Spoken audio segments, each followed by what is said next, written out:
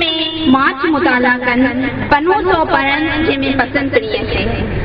اها سنڌ جيڪا پيرن فقيرن درويشن ۽ صوفي جي ڌرتي آهي هن ڌرتي جي مک ۾ هوش حيات ۽ سوريه بادشاهه جن بهادر پٽن جنم ورتو هن ڌرتي پنهنجي پيٽ ۾ انيڪ راج لڪايا آهن جيڪي وقتن به وقتن اسان جي سامهون اڀريا آهن. هتي جا ماڻهن جي ڏاهپ ته خبر اسان کي موهن جي دري جي آثارن مان پوندي.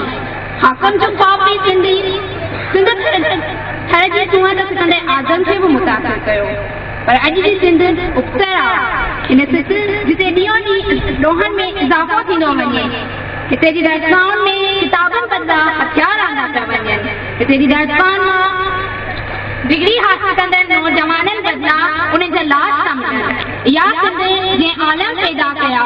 هن سنڌ جي نوجوان کي اڄ جي بدا ڊگريون ڏيون پيون وڃن اسان جي معاشري کي ڪاپي ڪلچر ته ئي وانگر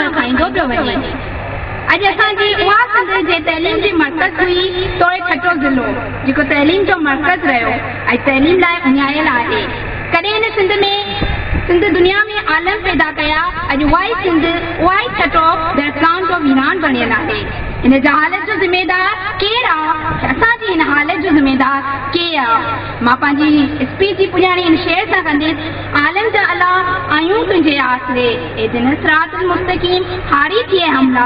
वाहिद कोने मा तो सवासिर देवरी। Thank U